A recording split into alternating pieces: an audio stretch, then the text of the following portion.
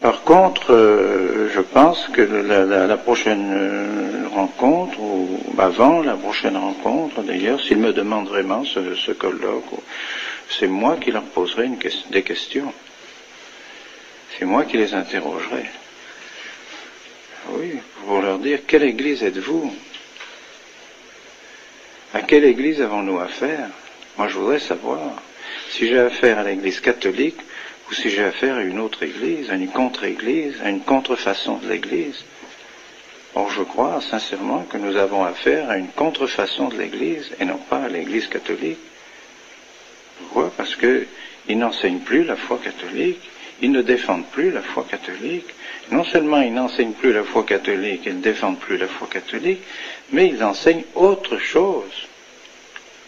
Ils entraînent l'Église dans autre chose que l'Église catholique. Ce n'est plus l'Église catholique. Ils sont assis sur le siège de leurs prédécesseurs, tous ces cardinaux qui sont dans les congrégations et tous ces secrétaires qui sont dans les congrégations, ils sont ou à la secrétaire d'État, ils sont bien assis là où étaient leurs prédécesseurs, mais ils ne continuent pas leurs prédécesseurs. Ils n'ont plus la même foi, ni la même doctrine, ni la même, euh, ni, ni- ni- la, même euh, morale même que, que leurs prédécesseurs. Alors, c'est pas possible. Et, et principalement, leur grande erreur, c'est l'œcuménisme. L'œcuménisme, ils enseignent un œcuménisme qui est contraire à la foi catholique.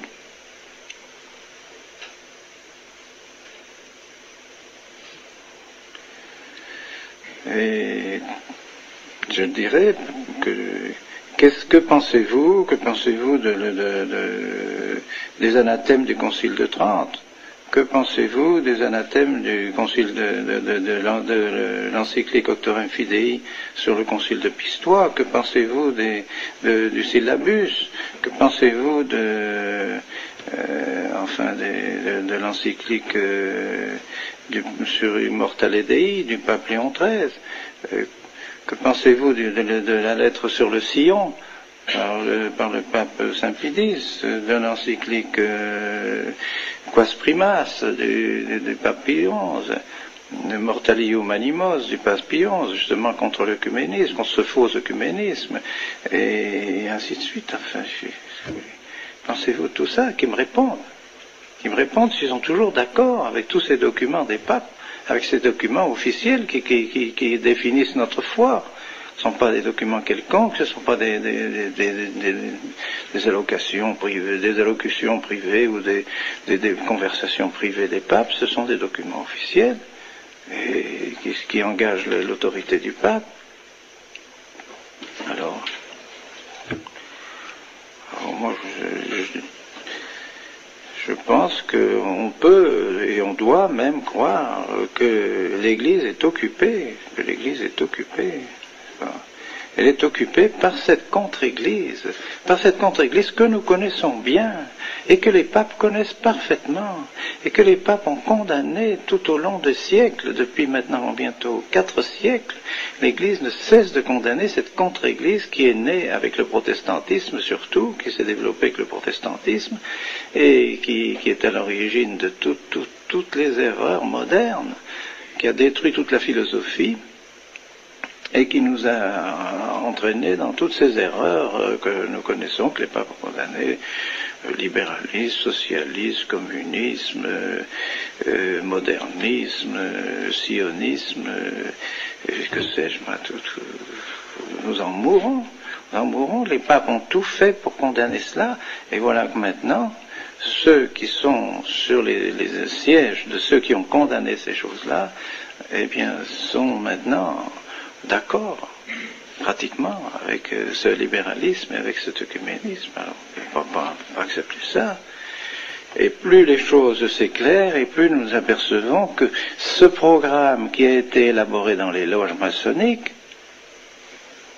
euh, tout ce programme a été élaboré, tous ce- toutes ces erreurs ont été élaborées dans les loges maçonniques, eh bien, on s'aperçoit tout doucement et avec des précisions de plus en plus grandes qu'il y a tout simplement une loge maçonnique au Vatican.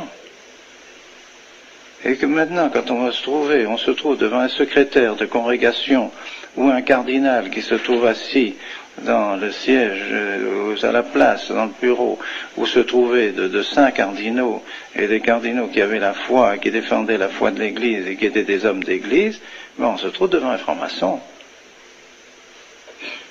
Alors, est-ce que c'est la même chose? Alors c'est bien, ils brandissent la même obéissance. Oui, autrefois, on nous disait d'obéir à la foi, on nous faisait faire le serment antimoderniste, on nous faisait faire les, professions de foi, et tout ça. Maintenant, c'est ces gens-là, qu'est-ce qu'ils font? Quelle foi ils nous demandent de professer? C'est plus la même. Alors on brandit toujours obéissance, obéissance, obéissance. Ah oui, mais quand même. Obéissance à l'Église, oui. Obéissance à ce que l'Église a toujours commandé, oui. Obéissance à la foi de l'Église, oui. Mais obéissance à la franc-maçonnerie, non. Ben non. Ben, c'est ça, c'est C'est sûr. dernièrement, donc, on m'a apporté des documents qui semblent tout à fait véridiques. Des documents qui montrent des, correspondances entre Bounini et le grand maître de la maçonnerie sur toute la réforme liturgique avec lequel le, grand maître de la maçonnerie demande à Bounini d'appliquer la réforme du fameux Rocca, euh, les prêtres apostats, Rocca, qui, lui, avait prédit déjà tout ce qui devait se faire et avait déjà prévu tout ce qui devait se faire lorsque le Vatican serait occupé par la maçonnerie. Voilà ce qu'il faut faire. Et alors maintenant, le grand maître de la maçonnerie demande à Bounini d'appliquer cela.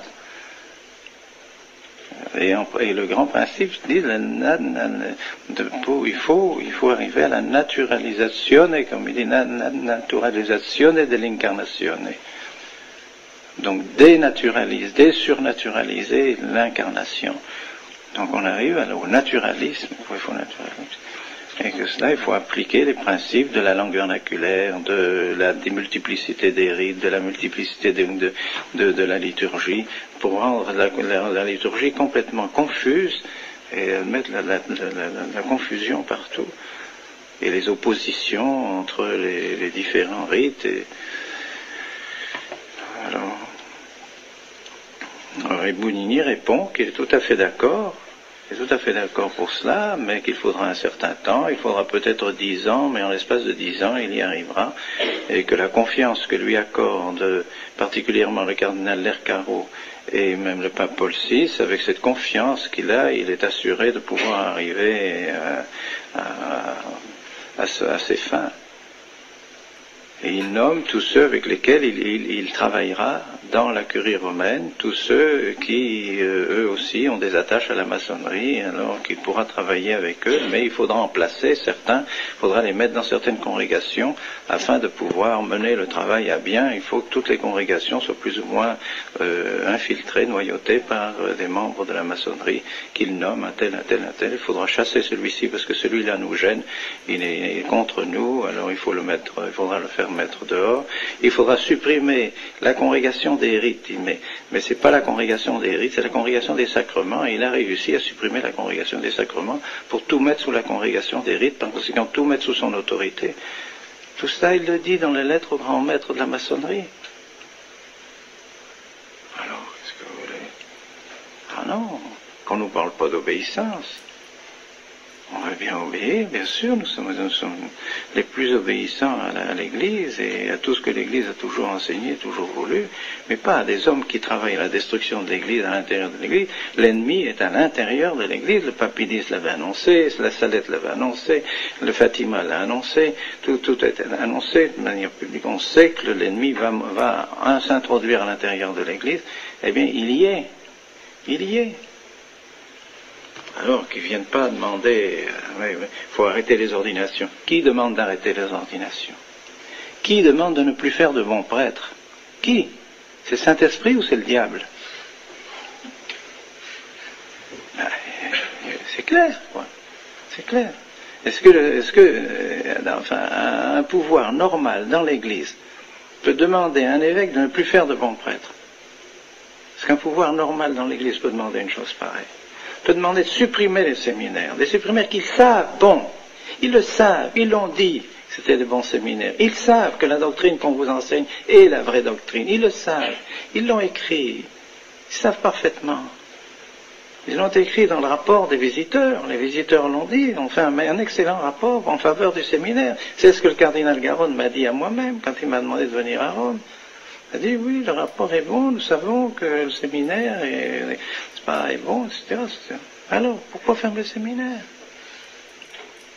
Tout simplement parce que nous ne voulons pas suivre ces orientations maçonniques de l'œcuménisme, toutes ces orientations nouvelles qui sont été forgées dans les loges maçonniques.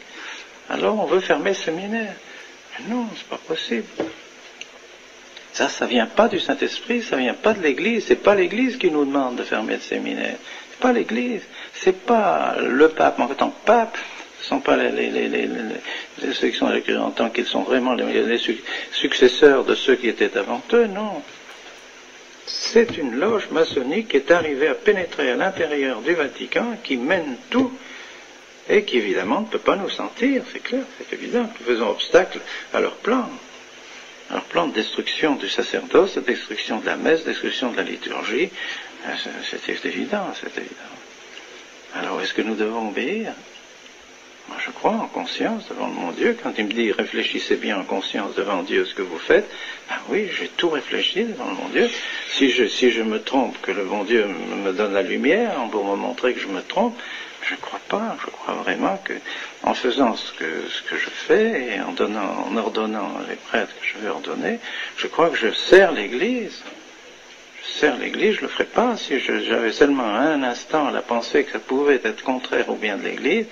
Je m'abstiendrais bien sûr de faire des choses pareilles, c'est trop grave.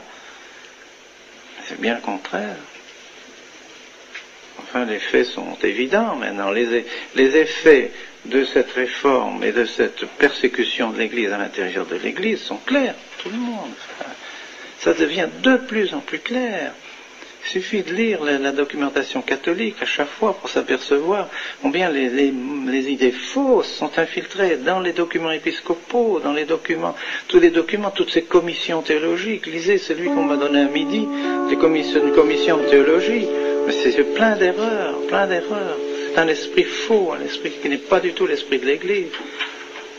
Alors c'est pour ça que nous, n'hésitons pas un instant et j'espère que le bon Dieu continuera à nous bénir, continuera à nous bénir.